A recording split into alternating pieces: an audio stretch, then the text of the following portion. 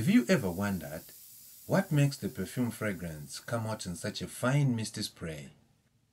What's inside a perfume bottle? And how does it work? Well, if you have a curious mind, then come with me. Come and discover the clever little design that makes it all happen.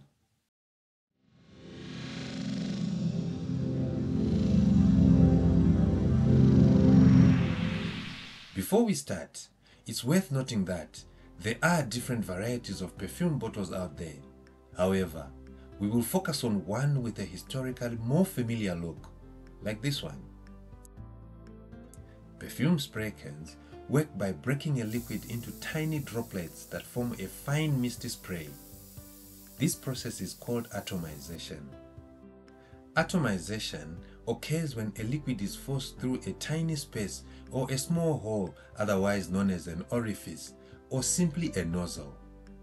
This subjects the liquid to high pressure and causes rapid acceleration such that the liquid exits the nozzle at high velocity and breaks up into tiny droplets. Now, for this to happen, a simple but clever valve mechanism comes into play. Before we dissect and take a closer look at the valve and its functionality, let's start with the spray can body and see how the perfume product is contained within. The first thing to note though is that the spray can is a small pressure vessel. Let's elaborate. Pressure vessels are containers that hold fluids under pressure.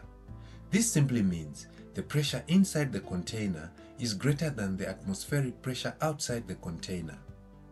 As we shall see, this pressure is essential to how the spray can functions. Now, some common examples of pressure vessels are domestic gas tanks, fire extinguishers, and liquid petroleum gas tanks. Notice that these tanks have domed or dished ends which are specifically designed to withstand or contain fluid pressure. We see these dished ends on the perfume spray cans. The general concept of strength behind a dished end is similar to that of an architectural arch. The bottom of the spray can is inverted, or in other words, it looks upside down.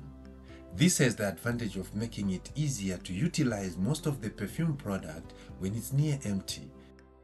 And it also simply provides stability to the can when placed upright.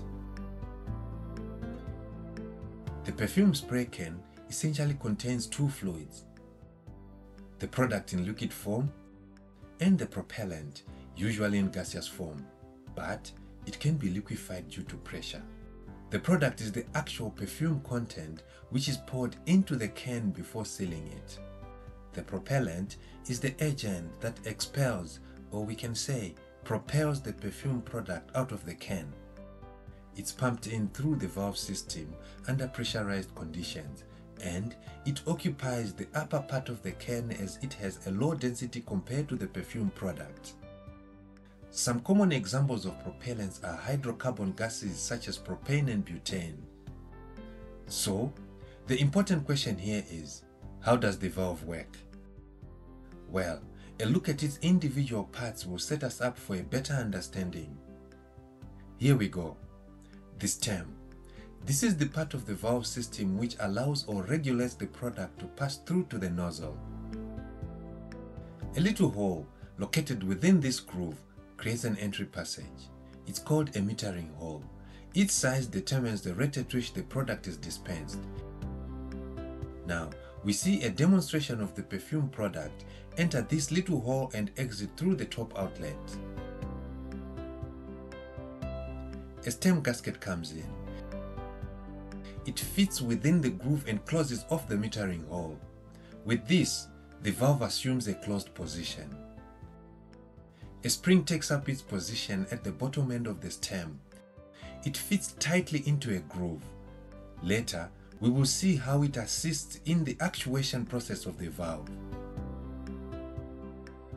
Now, the housing unit comes through. It's cylindrical in shape with an upper part that consists of an inner chamber. The top of the housing unit is designed like the upper part of a castle's turret.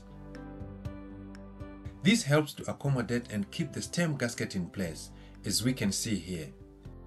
The chamber accommodates the stem the spring, as well as the gasket. The bottom end of the housing has an opening that leads to the chamber. The dip tube connects to the housing unit. Vapor tap. This is a little hole by the side of the housing unit. When the valve is open, it allows a small amount of the propellant vapor to enter and mix with the product. This helps break the product into smaller droplets. At this point, it's essential to assemble the rest of the spray can parts before we finally see how the valve works. A mounting cap drops in. To clearly show its positioning and primary function, we cut it in half. The same is done to the housing unit. We see that the mounting cap secures the stem gasket between itself and the housing unit. Notice how the shape of the upper housing unit fits well into the mounting cap to secure it in place. The top seal gasket is inserted right within the top folding inner space of the mounting cap, obviously to avoid leakages. The top cover is next. It's fixed to the mounting cap. For a better graphical view, we cut it in half as well. Notice the dome shape on the top cover and the mounting cap. Here we see how the top cover is secured to the mounting cap, with this little dimple acting as a lock.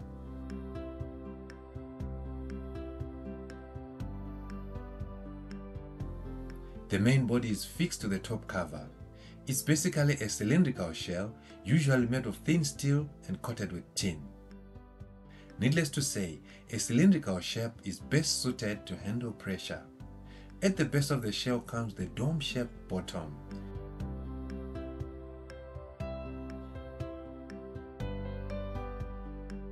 We see how it's tightly connected to the shell. A sealant occupies this tight space to eliminate any chance of leakages. At the very top of the spray can is the actuator, a cap-shaped piece on which force is applied to activate the spraying process. It accommodates the insert nozzle. The nozzle is the little piece that lets out the perfume and creates a fine spray through a precisely designed tiny hole. Now, to fully explain the spraying process, we zoom in on the valve mechanism once again. In this current position, the valve is closed. As seen before, the stem gasket blocks the small metering hole that opens up the valve. When the actuator is pressed, it pushes the stem downwards and releases it from the gasket. This frees up the metering hole and the valve is open. A clear passage is formed from inside to the outside. The spring is now compressed and loaded. Once the force on the actuator is released, it unloads and pushes the stem and actuator back to their original positions. This effectively closes the valve and nothing comes out. Let's open the valve once again and explain product movement. Once the metering hole is open, things immediately start happening. A low pressure zone is created in the housing chamber. This invites the pressurized propellant to push on the perfume product and force it up the dip tube. A fluid will always move from a region of high pressure to a region of low pressure. Represented by red particles, we see the product entering the housing chamber. At the same time, represented by green particles, a small amount of the propellant vapor flows into the chamber through the vapor tap hole. The product and the propellant mix and enter the stem through the metering hole. The stem directs the fluid up to a small chamber on the upper section of the actuator. This chamber has an opening that leads to an intricately designed passageway that takes the mixture into a small space behind the insert nozzle. From here, a narrow circular channel is created by a protruding little shaft that directs the mixture into the insert nozzle where it's eventually forced out as a very fine misty spray. However, a bit of action happens in the nozzle insert just before the fluid exits. The insert actually has spiral-shaped channels within its back hollow part. So, let's remove the actuator and take a closer look. The hollow section of the inset is known as a swirl chamber. Here, we see how the channels are configured. They cause the fluid to swell as it is directed to the center where the tiny nozzle hole is situated.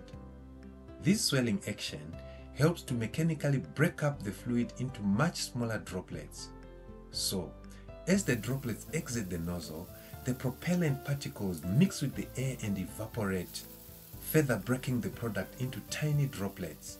Other factors such as surface tension, aerodynamic drag, and turbulence further help in atomizing the fluid into a fine misty spray.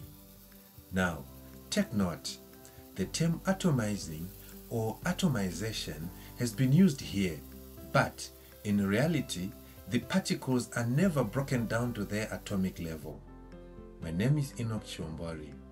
I'm a mechanical design draftsman who just loves working on 3D animated stuff. Everything in this video was modeled, textured, animated, rendered and edited in a free 3D software called Blender. Thank you for watching Eno Graphics.